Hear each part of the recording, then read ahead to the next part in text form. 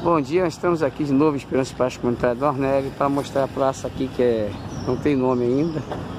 É engodo de encosto de terras aqui que pertence a uma placa do bar. Marcelo Alencar colocou bairro Amazônia, mas é colado com esse Agora eu faço uma pergunta. ATI, Academia Terceira Idade, Rio de Janeiro.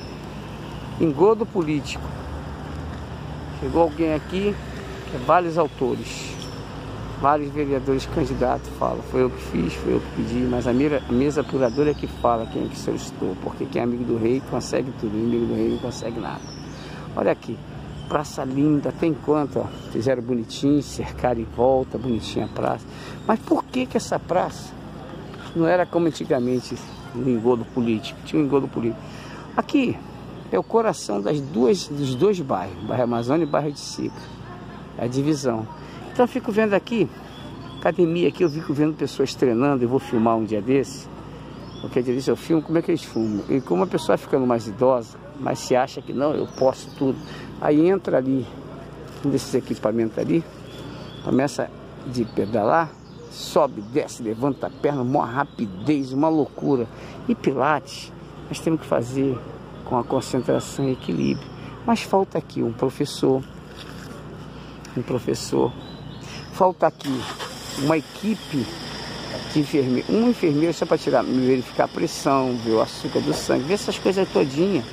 E a cobertura fechada, isso aqui com grade, a grade aumenta, fecha um portãozinho e aqui fica o representante da saúde aqui, aberto. Eu acho que vai resistir o tempo, fica sujo ali, barro, as pessoas entram aqui, balança a perna, faz, sem nenhuma orientação.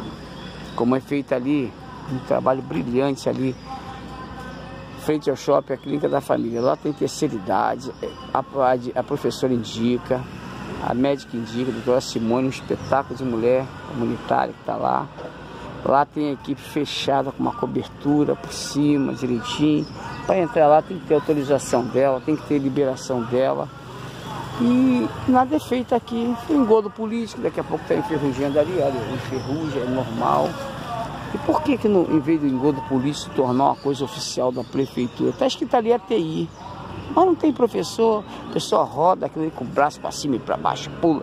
E vai acabar dando uma distorção e vai piorar mais a situação. Então, prefeito, essas coisas que, teu, que os vereadores fechados contigo aqui da Zona Oeste deveria tomar posse. E vir aqui, em vez de fazer política, pode até fazer, mas toma as posições, fecha essa academia aqui direitinho.